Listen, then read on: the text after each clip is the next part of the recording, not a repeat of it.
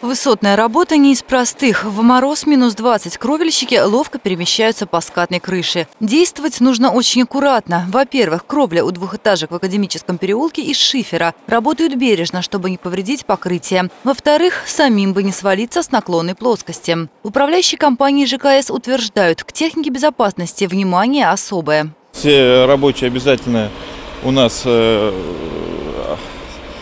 привязаны страховочными канатами, обязательно, обязательно наличие э, касок. Вот. Все это ограждается территория лентами сигнальными, чтобы во время производства работы не, не, не было случайного попадания на людей, на прохожих. Внизу работу кровельщиков контролирует еще один сотрудник. Он же подсказывает обходные пути невнимательным прохожим. Когда снег и лед с кровель убран, вокруг дома с лопатами проходят дворники. Однако далеко не во всех самарских дворах очистка крыш выглядит так. В историческом центре города люди жалуются, управляющие компании до сих пор не все сосульки сбили. Особенно отличилась альтернатива. Мы живем в Садов 94, вот там в глубине домик стоит. И там такая узенькая тропинка, то есть нам ходить негде. Висят с соседнего дома такие сосульки.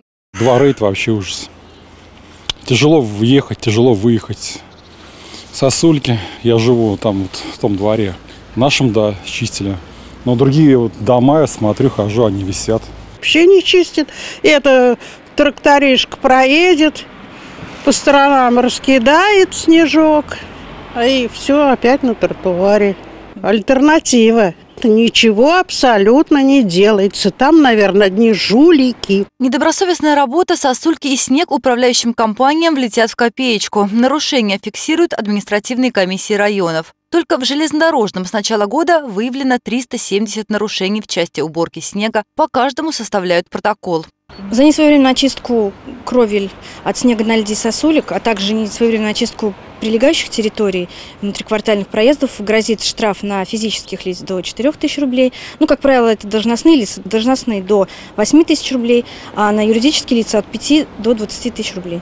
А вот за снег на козырьках балконов и кондиционерах отвечают жители, которые и должны вовремя их чистить. Если сами не справляются, собственники квартир могут обратиться за помощью в управляющую компанию. Если же самарцы заметят, что коммунальщики не соблюдают требования безопасности при очистке кровель, следует звонить по телефонам горячей линии. Сюда же можно обратиться, если участок долгое время остается огороженным, а работы не ведутся. Марина Кравцова, Дмитрий Мешканцов. События.